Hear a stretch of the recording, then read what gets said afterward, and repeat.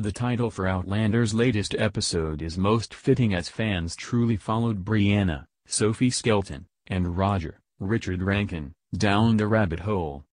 18th century Scotland has received its latest transplants as Bree and Roger traveled through the standing stones at Craigh na Dun and this week's installment gave viewers a glimpse at their individual journeys.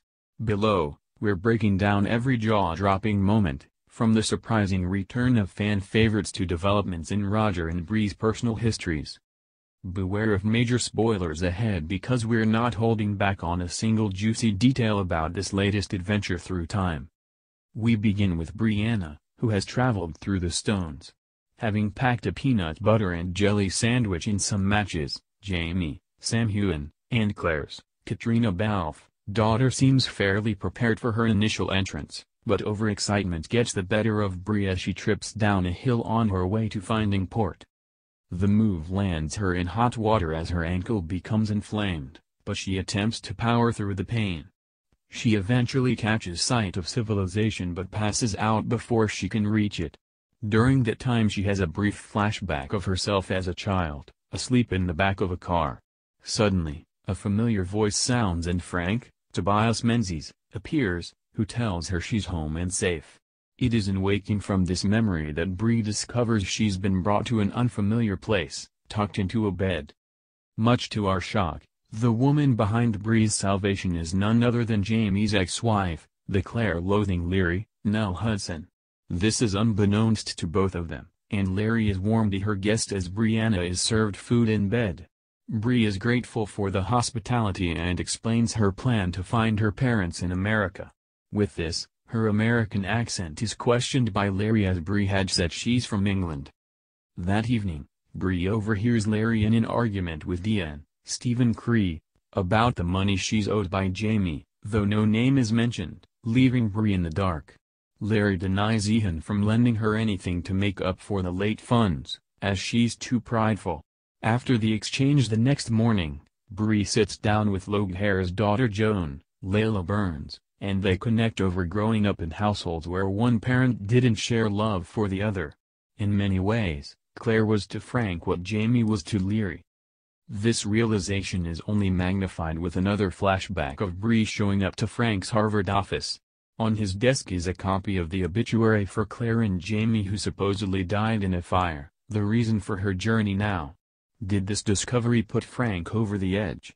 When Brianna asks what's troubling him, Frank doesn't say anything because doing so would reveal the secret of Brianna's parents. In a return to Brianna's present in the 1700s, Laoghaire is asked by her guest about the situation with her ex. She reveals that a woman bewitched him and stole him away, and Bree still isn't aware that she's talking about her parents. As Bree continues to recover from her ankle injury, she helps surround the house and in casual conversation, hears Laoghaire bring up Lallybroch, Jamie's family's estate.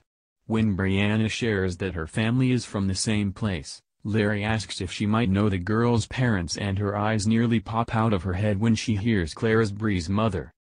With this, Laoghaire's attitude darkens and she began to twist a tale of rumors that Bree's father never wanted children in an attempt to scare her off.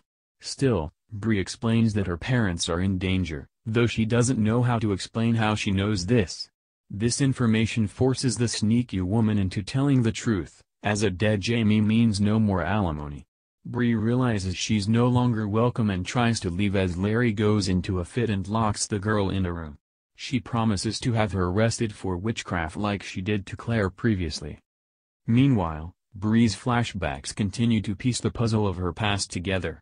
We see Frank pull up to a curb where his daughter is walking with friends. He asks her to get in, and when she complies, he reveals he's divorcing Claire and pushes for her to join him in England as he's accepted an offer to teach at Cambridge. A shocked Bree doesn't understand that her parents are miserable. When she gets out of the car, he tells her he loves her, but she doesn't say it back, making the next scene sting even more. As Bree stands over her father's grave in another flashback, she laments not staying in the car with her father, perhaps he wouldn't have gotten into a fatal car accident if she'd been with him.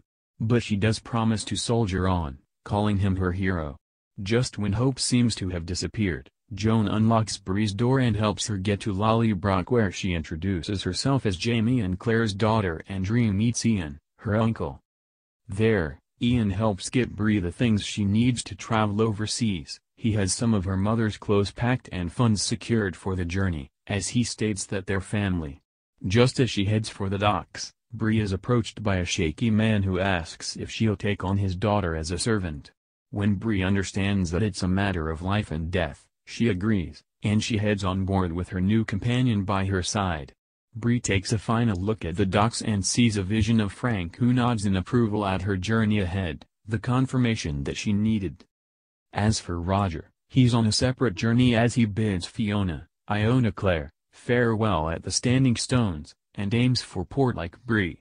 There, he tries to board the first possible ship to the colonies captained by none other than Stephen Bonnet, Ed Speleers.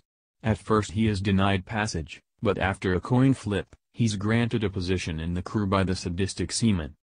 On board, Roger learns that Bonnet isn't one to be messed with when the captain decides to throw a girl who is infected with smallpox overboard. Roger protests and tries to save her but is too late. The event sets him into action as he tries to prevent further death by hiding a young woman and her infant as inspections by the crew for further spread of the disease ensues. In the process, he learns that the woman and child are Mackenzie's, making them his likely relatives and their survival crucial. But Roger is soon caught by Bonnet while he's dropping off food to the woman. The captain pulls out his coin for another flip, this time, Roger is in danger but he's spared. And even though he's on a lucky streak, we have a feeling that could wear out soon, especially with Bonnet. Hopefully there will be some luck when it comes to finding Bree because we have a feeling they'll need each other in this strange new world.